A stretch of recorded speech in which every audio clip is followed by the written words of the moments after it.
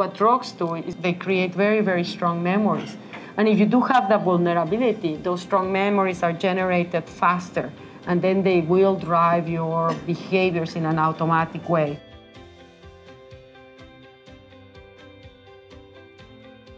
That's really what addiction is all about, even though you no longer want to take them, and even though the drugs no longer are even pleasurable.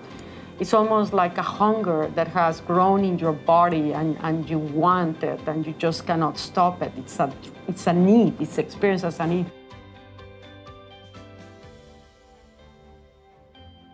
As our brain is developing, you are driven to learn, you are driven to create connections, it's physically changing and drugs directly modify it in ways that they are actually optimizing that reward system to motivate and not a behavior that is for survival, but a behavior that ultimately can destroy a person's life. And that's exactly why, why kids are more vulnerable. Their brain has not developed.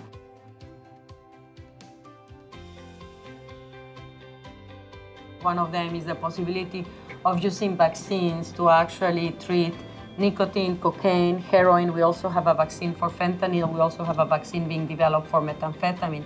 And the idea is you actually generate antibodies. You get vaccinated and you generate antibodies against that drug.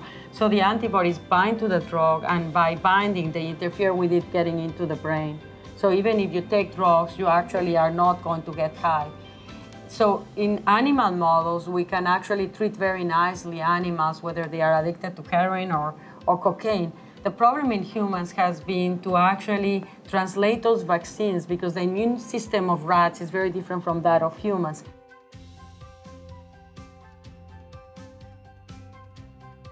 The treatment of addiction actually requires a multi-pronged approach that actually cannot just rely on medication. I, I would, would be wonderful if we had an antibiotic-like and you sort of said you recover and you're cured. But what happens when a person is addicted, a lot of things happen in their life and they disrupt their family, they disrupt their work. And as a result of that, they start to withdraw, and that makes them actually much less able to get social support.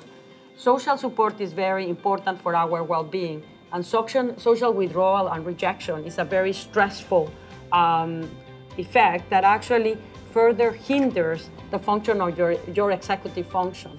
So, and that's why criminal justice system incarceration does not work. You're isolating someone and putting them very stressful condition, and that will degrade their ability to actually exert self-control. So therapeutic interventions engage the individual and in a way to try to, of course, strengthen the areas that are affected by repeated drug use, such as the frontal cortex, while at the same time trying to help the individual integrate into their social system and their family.